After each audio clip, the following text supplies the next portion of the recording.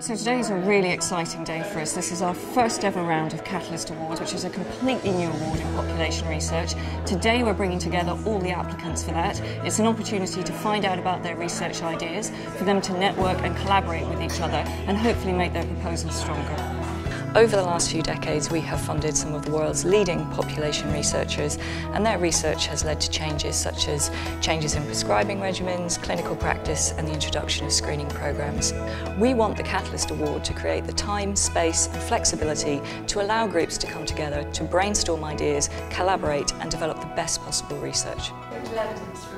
It's not often in grant applications we have this opportunity to both share our ideas and to hear the ideas of colleagues.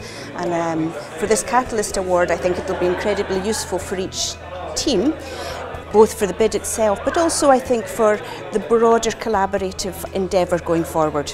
I found today really, really useful because I was able to discuss uh, novel ideas with other co-investigators who are doing similar or, or related work to myself. We were able to think about the possibility for collaboration and I also received some really useful feedback on how I could improve uh, my own proposal. So one of the really exciting things about the Catalyst Award is that for the first time ever in population research, international researchers can be applicants on these proposals. We want to fund the best science from the best scientists wherever they are in the world. We are used in research to compete with each other. We are used to keep our ideas secret.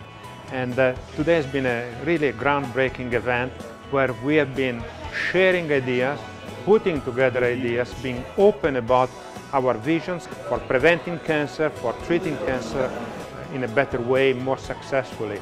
So Cancer Research UK's research strategy has a very clear ambition around accelerating progress towards three in four surviving cancer within 20 years. Population research will have a fundamental role to play in that if we're to achieve that aim, particularly in the areas of prevention and early diagnosis, and the Catalyst Award will help drive towards achieving that ambition.